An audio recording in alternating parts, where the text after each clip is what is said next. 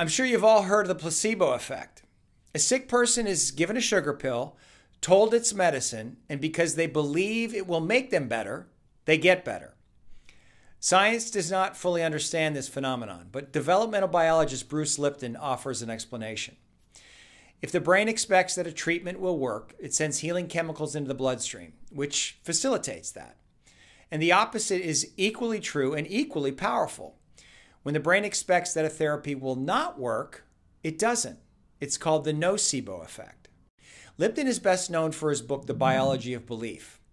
In it, he claims that our DNA, our biological blueprint, is not fixed. Rather, our genes are expressed, turn on or off, in response to our environment.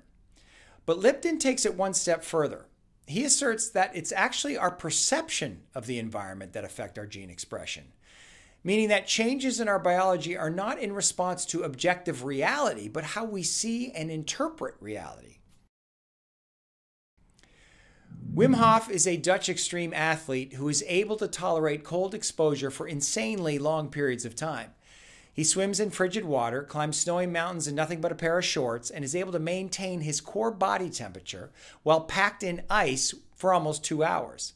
Science does not understand how he does it. Now, Wim claims he controls his autonomic nervous system through breathing exercises and intense mental focus, and he's shown that he can teach others to do the same.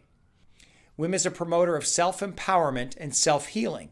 His oft repeated message is the power is in you. The latest research in cognitive science suggests there's no evolutionary advantage to seeing the world as it is. Rather, we perceive the world in a way that optimizes our survival based on our experiences with our environment. So, again, we do not see objective reality. Instead, we create mental models and then project that reality onto our world.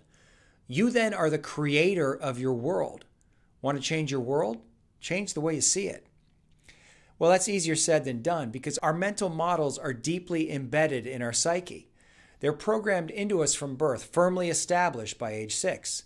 They run in the background like software, interpreting all input through their filter.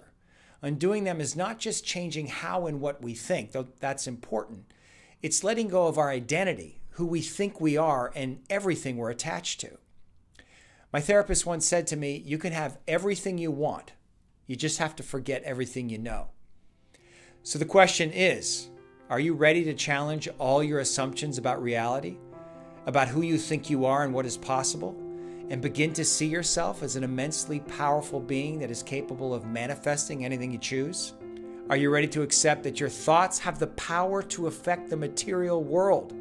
That your dreams are a vision of a potential future just waiting for you to realize them?